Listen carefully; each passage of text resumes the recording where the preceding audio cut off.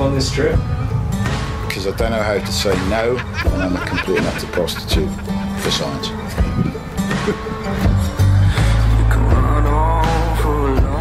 Anybody can go run a 5K on the pavement, but not anybody can do this mountain. And we kind of have an old saying that if you finish the race and you're not bleeding from at least one spot, you just didn't try hard enough. You don't need anything else. You just need a pair of running shoes and some good mountains and some good people to run with.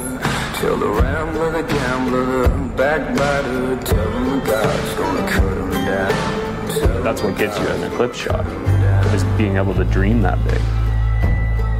A huge amount of imagination, and not everybody can do that.